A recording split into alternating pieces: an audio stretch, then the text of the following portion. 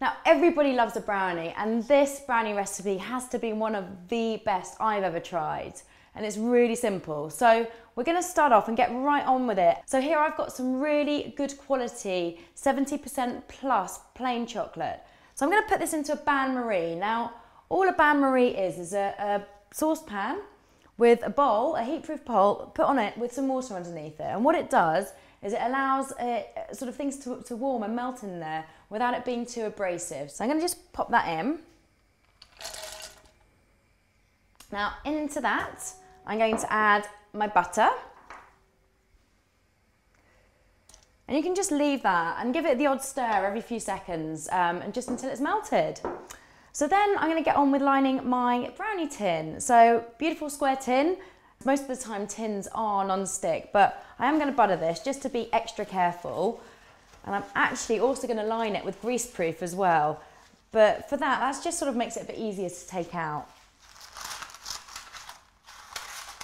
The great thing is the butter will, will allow it to stick. And I'm going to do the same thing in the opposite direction.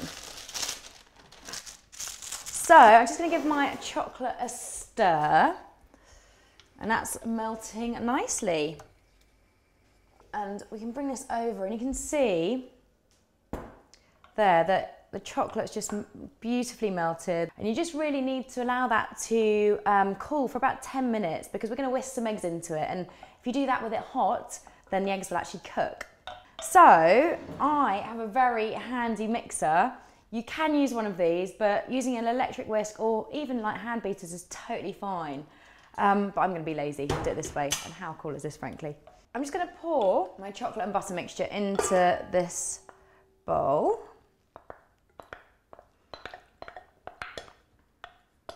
So into there, we're going to put our unrefined golden caster sugar. I'm a massive fan of Billingtons.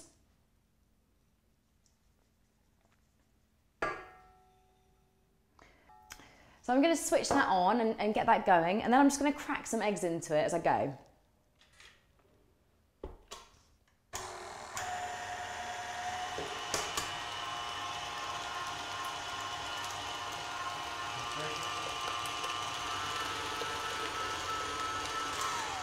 Okay, so that's perfect. So I'm just gonna take this out and you can see, I mean, just by looking at that, that's like a perfect gooey chocolate mixture and that's the base of our brownies. So we're gonna pop our dry ingredients into there. So I've got some sifted plain flour, some ground almonds, but actually you could use chopped, that'd be fine. And then finally, some vanilla extract. And then just get that back on and give it a quick whiz. You don't want to overbeat it at this stage because otherwise it will become too tough. So just until it's incorporated.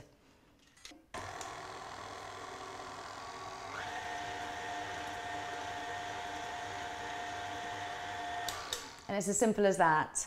So now we're just going to fill our brownie dish. And then just spoon that out into the dish as well.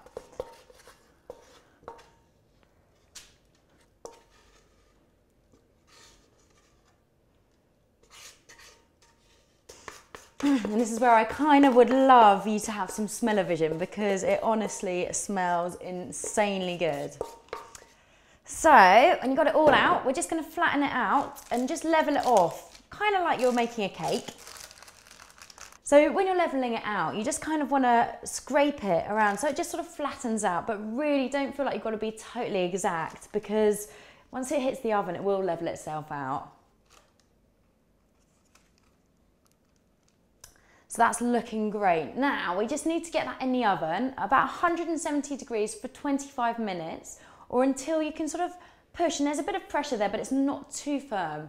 If I'm honest with you, the best brownies are a little bit undercooked.